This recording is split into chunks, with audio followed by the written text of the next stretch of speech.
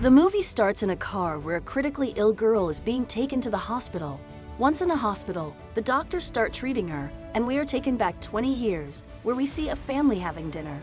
The family includes Don, his wife Irene, and their two daughters, Amy and Sarah. Don is an abusive and aggressive person, as is clear from the very first interaction when Sarah asks to go to a party. He refuses to let her go and sends her to her room. Nevertheless, Sarah goes out of her window and leaves with her boyfriend, Chris. While Sarah has a good time at the party, at home Don comes to know that Sarah went to the party even after he told her not to.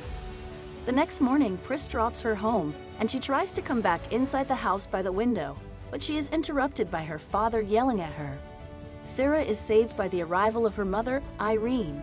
Later as Sarah, Amy and Irene are conversing, Sarah reveals that she will leave this house as soon as she turns 18 and go far away from her abusive father. But Don hears all this as he is outside the room. After this, Sarah graduates soon, while her 18th birthday is also approaching. One day when Sarah and Don are alone in the house, he asks her to help him move some stuff into the basement. Now, as she does as she's told, she brings the box into the secret room built in the basement. Don tells her that the room was built during the times of war, when people used to take shelter here to be safe from the bombings. Then Don locks Sarah in the room and leaves. Sarah tries to shout for help, but her voice is unable to reach the outside world, as the room is soundproof. Now she checks the box she helped move into the room and finds some essential supplies in the box. She is completely devastated. She also tries to open the door by putting in the security code, but after three failed attempts the light goes out and the ventilation system also stops, which makes it hard for her to breathe. While on the other hand, Amy and Irene are very worried about Sarah as they call all her friends but with no success. Four days pass and Don comes down to the basement. Sarah pushes him and tries to make it out, but finds another locked door. After this, Don aggressively drags Sarah back into the secret room and tells her it is all a punishment for her disrespect towards him, and that she will be locked here till she learns to respect him. Now Don not only mistreats Sarah, but also subjects her to severe harm. At the same time, Amy and Irene call the police and tell them about Sarah's disappearance. Don tries to portray that Sarah has left the house on her own accord, but the police filed a report regardless. Chris is also worried about Sarah as he visits her house where he finds Don who tells him that Sarah has run away from home with her childhood friend, Steve, and is leading a happy life in Florida. Sarah has now been locked in the basement for 21 days, and it's her 18th birthday as Don gets her a cake and presents. He gives her a red revealing dress and forces her to wear it. Sarah follows his orders and he assaults her again. Now satisfied with Sarah's obedience, he fulfills Sarah's wish of a clock in the room. On day 38, Sarah tries to make a weapon out of a can and tries to attack Don when he arrives, but fails again, which results in Don beating her brutally yet again. As the time passes, Sarah has been locked in the room for 348 days and is pregnant. She starts experiencing labor pains, and with the help of a book, she delivers a baby girl all by herself, whom she names Marie. Four years pass and Irene is still grieving her daughter's disappearance without any sign of her. Marie has grown up a bit, and Sarah is expecting another baby. Sarah tries to convince Don to let her and her child out of the basement as he recently got promoted, but Don gets angry at her and leaves.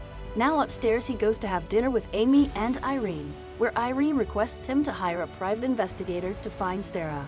He gets angry at her and leaves the dinner table. On Christmas, Don gifts Sarah and Marie a television.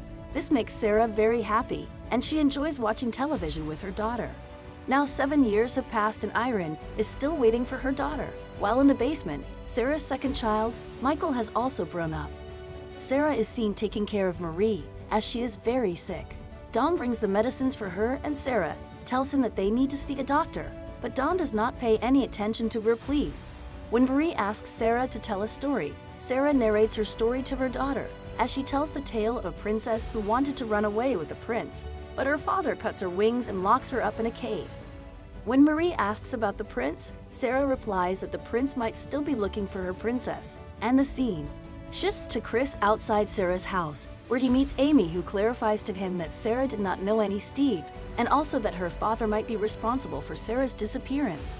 Back in the house, Amy confronts Don, which results in a fuss between the three. As Don rushes after Irene, he accidentally leaves the basement keys there. Amy spots them and goes to the basement, searching for something. But just then Don gets there, and he berates Amy and tells her to leave. Now, as Michael and Marie are growing up, they start questioning Sarah while she is pregnant again, but Sarah distracts them and tries to be a good mother. Soon she gives birth to her third baby, whom she names Thomas. When Don visits her, she tells him that she cannot take responsibility for another kid and also the room cannot accommodate another kid. Don is convinced and he leaves Thomas in a basket outside the house with a letter. Irene opens the door and finds the letter which said that it is Sarah's baby and she is unable to take responsibility for him due to her financial crisis. So she is handing over responsibility to his grandmother until she is financially stable again.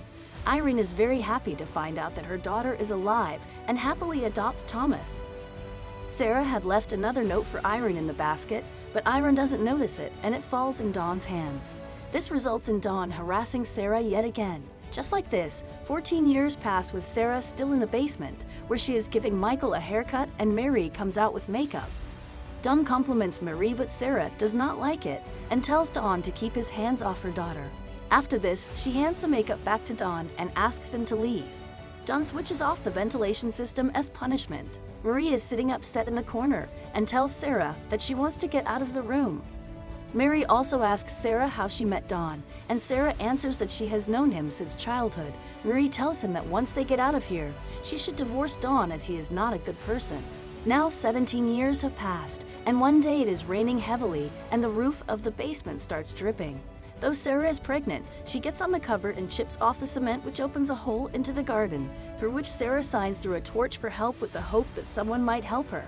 A man sees the light, but instead of checking the source, he rings the doorbell and notifies Don about it. This enrages Don, and he mistreats Sarah with extreme force, even considering her pregnancy. Sarah is left in a horrible condition and starts bleeding. Amongst her mother's screams, Marie is unable to understand what she should do. Later, Sarah's baby is born dead, whom Don buries. This incident disturbs Sarah deeply. When Don visits them, he gets annoyed with Sarah's behavior, and when Michael and Marie ask him when they will be able to leave, Don replies that it depends on their mother, as they will all get free when she starts behaving well. After Don is gone, Marie and Michael treat Sarah very disrespectfully. Sarah is unable to answer any of their questions and thus gets annoyed and starts breaking things. After some time, she lays on the floor and reminisces on her memories with Chris and falls asleep. While she is asleep, Marie and Michael clean the room and put everything back in place, and when she gets up, they apologize to her. Sarah tells them that since they are now grown up enough, she can tell them the truth, and after this, narrates her entire story to them, and also the fact that Don is her father. This shocks the kids very much and they start panicking, but Sarah comforts them and tells them that someday they will be out of this prison.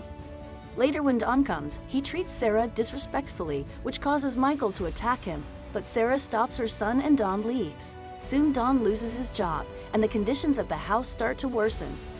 Don has difficulty paying the expenses of so many people, so he tries to kill Sarah and her kids by putting polluted air from the car through the ventilation system. But he fails as all of a sudden Thomas shows up there. Now 20 years have passed, and one day Marie is having an asthma attack and is in critical condition. When Don arrives, Sarah pleads for him to take Marie to the doctor, otherwise, she will die. Finally, Don is convinced and he lets Sarah and Marie out but locks Michael inside. Now, the starting scene of the movie is shown again, where Sarah is taking a critically ill Marie in the car while Don is driving. Marie gets the treatment, and the doctor comes to Sarah and Don to get the papers signed.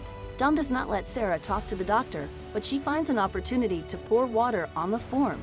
When he goes to get a new form, Sarah asks the doctor for help. The security guard catches Don, and as Marie regains consciousness, Sarah tells her that now they will be free. Don is arrested by the police.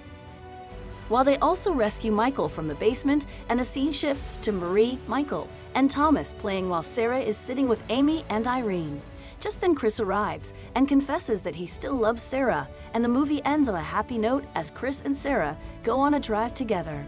The movie teaches us an important lesson to never lose hope even in the most difficult of situations. Even after years of abuse and torture by her father, Sarah never lost hope and was finally able to get a good life for herself and her kids. Therefore, no matter how hard the times get, we must always have the courage to keep going. Tell us what you liked most about this film in the comments section. Also, don't forget to comment, like, subscribe, and turn on notifications so you don't miss the next video.